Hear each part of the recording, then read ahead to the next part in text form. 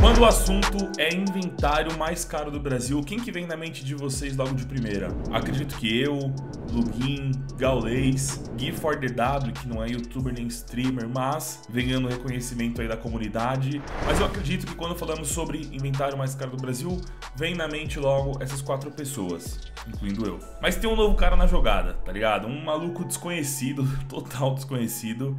Olha a foto da Steam do mano. Olha a foto da Steam do mano. Agora dá um ligue só e um spoilerzinho aí, que são dois itens que ele tem em seu inventário que nenhum outro brasileiro tem, pelo menos eu acho. Que é um iBuy Power holográfico de Katowice 2014 e um Titan, também holográfico, também de Katowice 2014. Só esses dois itens juntos somam uma média aí de 32 mil dólares, convertendo para reais, cerca de 165 mil, ou seja, em dois adesivos ele já tem 165 mil reais no inventário. Isso que tem muita coisa ainda para mostrar, a coleção do cara é insana. Ele começou a ganhar uma fama aqui no cenário brasileiro, primeiramente, fazendo doações enormes para streamers. Grande parte dessas doações ele faz no site de aposta, ele doa pontos no site de aposta para as pessoas, as pessoas retiram skins, vendem as skins e ganha uma grana. E ele também faz apostas, mano, para de 100 mil pra cima ligado? O cara é brabo. Hoje vamos analisar o inventário dele e dizer se ele tem ou não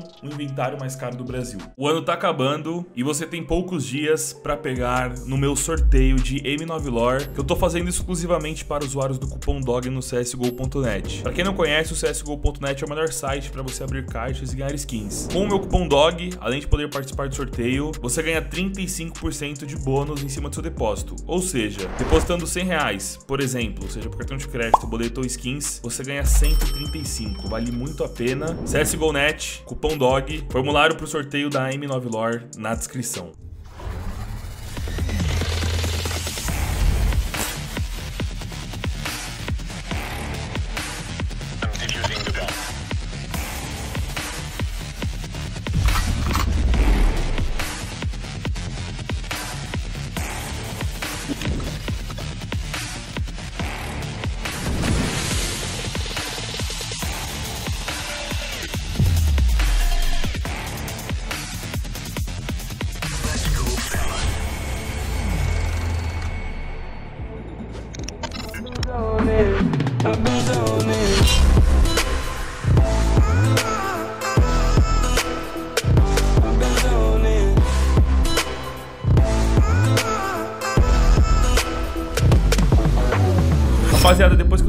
Gravar o vídeo, eu percebi que outros youtubers aqui no Brasil já gravaram vídeos sobre o inventário desse mano misterioso. Peço perdão, não sabia de qualquer maneira. Posto o vídeo, pois é interessante eu passar a minha visão sobre o assunto e falar sobre as skins que ele tem com a experiência que eu tenho. Sejam bem-vindos a mais um vídeo aqui no canal Cachorro 337. Iremos falar hoje sobre o inventário do H... Não, é AH... HK... HK Tex. Não é o KHTex próprio não, é o HH Tex. Sei lá, mano. H... HK Tex. Foda-se. Brasileiro misterioso, isso, brasileiro misterioso. Iremos hoje falar sobre o inventário desse brasileiro misterioso, que eu não sei se possui o inventário mais caro do Brasil, mas só vendo aqui os itens que ele tem em seu destaque de inventário, já dá pra saber que é um dos inventários mais caros. Quem são os caras que possuem aí os inventários mais caros do Brasil, deixando de lado sempre, é óbvio, é claro, as lojas, né, as empresas. Mano, fora de ordem, eu, Gui W, plugin, Gaulês, tem também o Turbo e tem um mano que é o Merci. Ele coleciona Catos, né? Adesivo de Catos de 2014, mas ele deixa tudo escondido, então é difícil saber. Enfim, e tem esse mano agora. Oh, Steam, quer me trollar? Eu só quero um vídeo poder gravar. Vamos lá, rapaz, e conseguir aqui carregar o inventário do mano. Vamos analisar, não item por item, mas os principais itens do inventário do cara e tentar dar uma estimativa aí do valor de tudo, certo? Olha, a primeira coisa que a gente tem que ver é que o inventário dele tem cinco páginas, ou seja, para ele ter um dos inventários mais caros do Brasil, ele tem que ter itens selecionados. Aqui já dá para ver algumas coisas interessantes. Começando por uma Skeleton aquecimento de aço. Vamos ver se tem azul, tá ligado? Se é Blue Jane.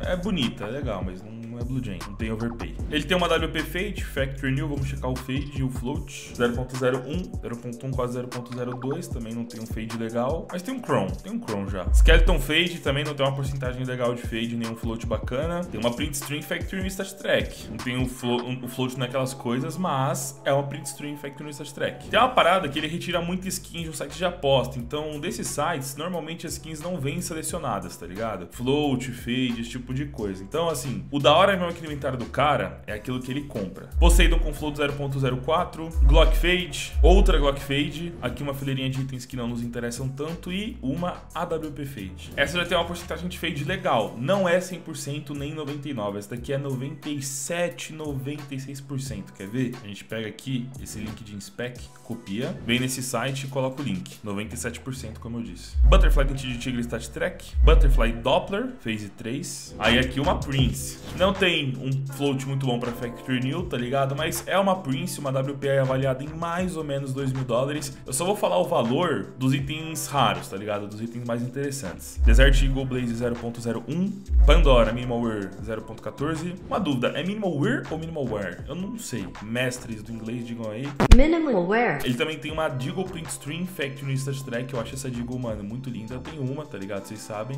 Butterfly Aquecimento de Aço. Agora um item diferente, tá ligado? Um item de um nível um pouco superior e que eu particularmente acho muito legal. Butterfly Ultravioleta Factory New. Ultraviolet é igual Crimson Web, Night. É aquele tipo de skin que em Factory New é raro e é diferente. Eu gosto muito dessa Butterfly. Com a Pandora fica fenomenal. Da hora, mano, curti. Deve estar tá valendo aí de 1.500 a 2.000 dólares. Ah, cachorro, nós somos brasileiros. Fala em reais. Cara, é que eu tô muito acostumado em decorar os valores de skins em dólar, mas é simples. Pega o valor que eu disser e multiplica por 5, tá ligado? Aí já vai ter uma média, um valor aproximado. Ele tem uma Butterfly Fade 0.008, mas essa Butterfly Fade, ela tem uma porcentagem de fade muito baixa. Dá pra notar porque ela é muito amarela. Toda Butterfly Fade que é muito amarela, fuja, mano. Porque aí a porcentagem de fade não tá muito legal. Invista naquelas que tem uma ponta roxa maior. Essa nem ponta roxa tem. Só que é nessa página do inventário do cara que a gente já consegue notar algumas coisas interessantes. Ele tem um M41S fósforo azul 0.003 e muito provavelmente ele colou um adesivo Titan holográfico de Katowice 2015 ali.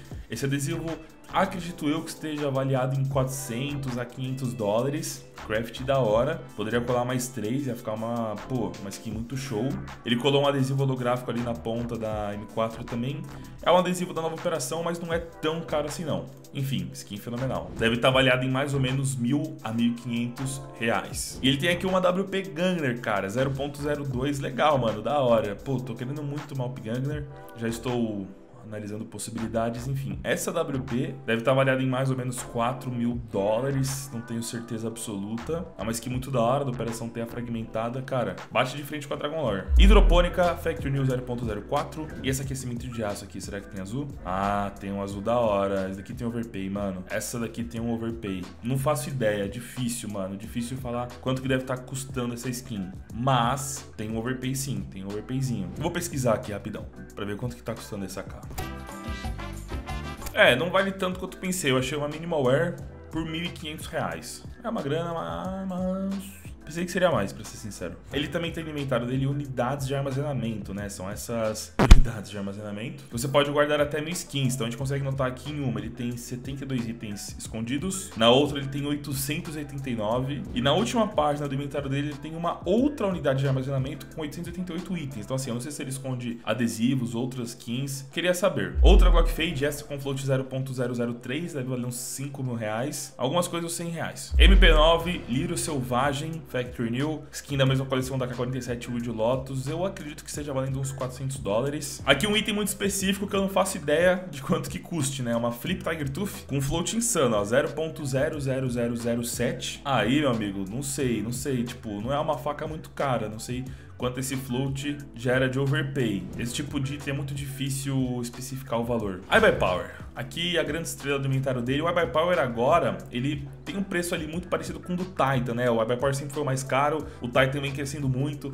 Hoje eles, mano, valem quase a mesma coisa. É, como eu já disse no começo do vídeo, uns 16 mil dólares. Tem essa Sport Gloves Vice, Factory New. Quem me acompanha sabe, luva Factory New é uma parada rara, cara. Essa é limpinha, tá ligado? A Vice, olha, difícil, mano, difícil especificar o valor, mas eu tenho certeza que vale mais de 10 mil dólares, cara. É um item muito específico, um item muito raro, que eu sou ter uma. Aceitaria no meu inventário de boa. E esse cara coleciona luvas em Factory New. Então, além da Vice, ele tem também aqui uma T Esmeralda. Essa luva aqui eu particularmente uso com facas esmeraldas, né? Combina demais. Não sei se ele tem. É, a mão esquerda não, a mão direita parece que não tem nenhuma teia centrada. Facas rubis. Butterfly 0.009 vale uns 5 mil dólares. Karambit Ruby 0.007, um corner bem zoado. Eu chuto aí uns 4 mil dólares. Talon Ruby Stat Track 0.008, mano, não sei especificar o valor desse skin por conta do Stat Track, mas eu chuto também ali uns 5 mil dólares. E para jogar com todas essas facas, uma Crimson Kimono, né, uma kimono carmesim, a dele é Factory New, mas tem pouco vermelho. Eu fiz um vídeo falando sobre essa luva, ela vale muito quando ela tem muito vermelho, né, nas duas mãos, e a dele não tem, mas é uma Factory New. Chuto aí também uns 5 mil dólares. Se tivesse muito vermelho, aí poderia ultrapassar até os 15 mil dólares. É o, mano, porque, tipo assim, eu sei que tem uma Max Red Minimal Wear sendo vendida por 18 mil dólares. Uma Max Red Factory New, que eu nem sei se existe, eu acho que não, deve nossa, se existisse, iria custar pelo menos uns 20 mil dólares, que é uma luva muito cobiçada. Ele também possui facas safiras, estilete safira 0.02, deve valer aí uns 1.500 dólares. Ursus Safira 0.01, deve estar avaliado em 2.500 a 3.000 dólares. Karambit Safira 0.007, não tem um corner muito legal. De qualquer maneira, custa aí uns 5 mil dólares. Butterfly Safira 0.01. A Butterfly Safira é uma faca muito cara, talvez a faca mais cara do inventário dele. O float 0.01 é um float interessante, não é o melhor float possível, mas eu acredito que essa faca seja avaliada em mais ou menos 7 mil, 8 mil dólares. Butterfly Safira é muito cara.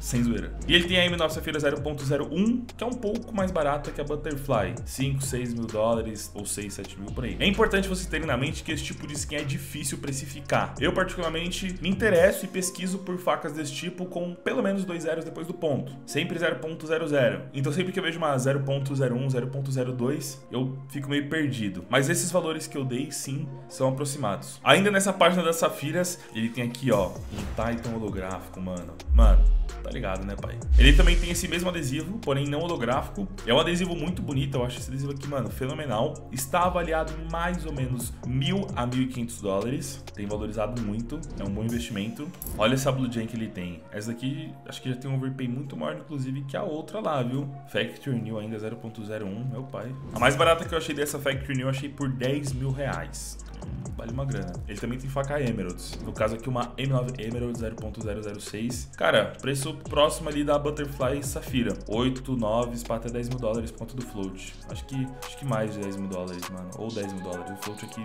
sobe bem o valor da faca. HAL Factory Stat Track 0.03. Aí um item que vale. Deixa eu checar se ela não é duplicada, porque se não for duplicada, vale mais ainda. A maioria das HALs Factory Stat Tracks são duplicadas. Se essa não for duplicada, vale uma nota. Não é duplicada. Não é duplicada. Olha, pode colocar aí uns 10 mil dólares, mano. Ele também tem uma Fire Serpent Factory no Stat Track, uns 5 mil dólares. E, mano, podia colocar um adesivo aqui na madeira, né? Um Chrome, sei lá. Wild Lotus Factory New, que é uma skin muito cara também. Uma skin muito da hora também, acho que tá avaliada aí, mano, sei lá, uns 15 mil reais, 3 mil dólares. Acho que é isso, acho que é isso, 3 mil dólares. Ursus Fade, 0.007 e tem uma porcentagem de fade muito alta.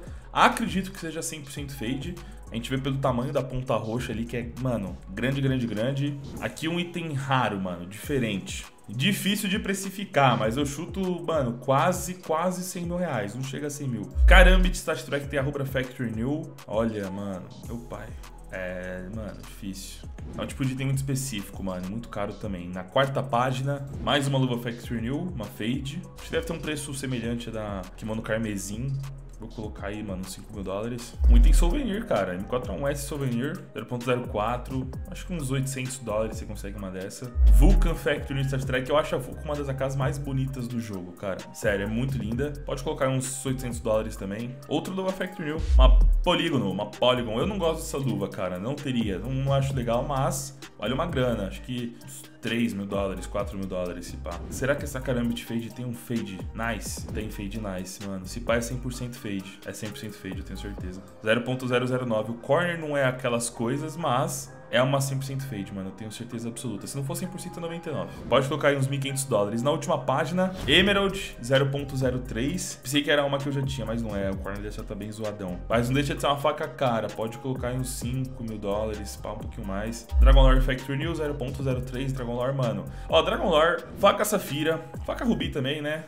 HAL e adesivo de Katsuta 2014, mano. É um bagulho que você pode gastar seu dinheiro sem medo, né? Obviamente, não vai pagar muito caro, pega uma boa oferta, mas assim, são itens que não caem de valor. Muito pelo contrário, só sobem, então ótimos investimentos.